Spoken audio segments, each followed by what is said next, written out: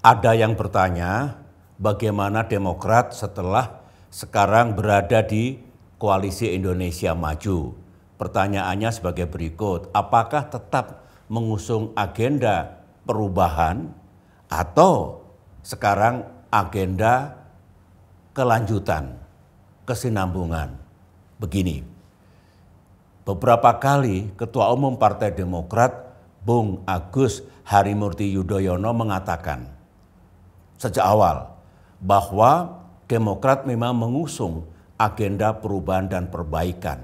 Tetapi hal-hal yang sudah baik yang telah dibuat, diwariskan sejak Presiden Soekarno, Presiden Soeharto, Presiden Habibie, Presiden Abdurrahman Wahid, Presiden Megawati Soekarno Putri, Presiden Susilo Bambang Yudhoyono, dan Presiden Jokowi sekarang ini yang baik-baik itu akan dilanjutkan, dipertahankan. Itu yang pertama.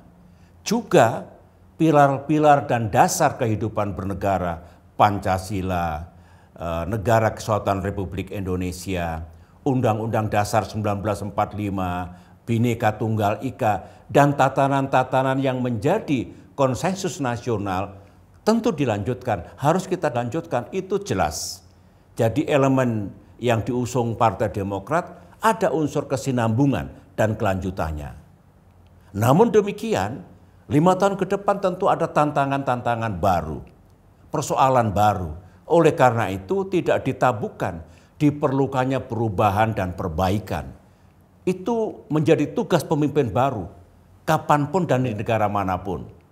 Dulu Pak Jokowi ketika menjadi presiden, sejumlah kebijakan yang saya jalankan karena situasi berubah, permasalahan berkembang, juga dilakukan penyesuaian dan itu sah dan benar. Demikian juga pikiran Demokrat nanti.